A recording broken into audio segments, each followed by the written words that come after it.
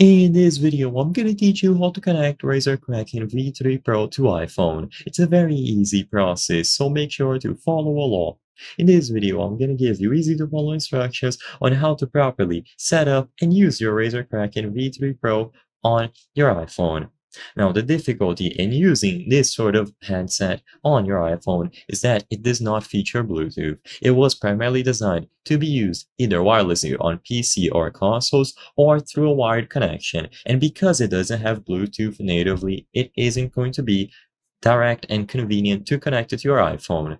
So what you have to do instead is use an adapter. You need to plug it into your iPhone by using the 3.5 millimeter cable. So plug in one end of the cable into the headset itself and another one into your iPhone. Assuming that your iPhone does not have the audio jack like most modern iPhone models, then like I said, you have to purchase an adapter. Usually this is going to be a Lightning to 3.5 millimeter audio jack adapter. So plug in one end of the lightning cable into the iPhone and then plug the headset into the other end of the adapter. Once this is done, then the headset will be usable on your iPhone.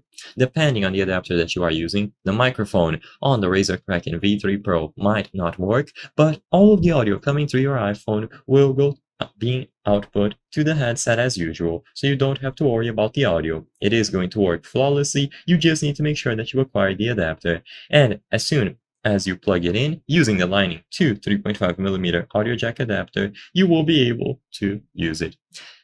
It isn't primarily designed for phones like an iPhone or any Android model, but it should still work as long as you plug it in with the corresponding adapter for your Razer Kraken model. I hope I was able to help you on how to connect Razer Kraken V3 Pro to iPhone. If this video helped you, please be sure to leave a like and subscribe for more very easy tips. Thank you for watching!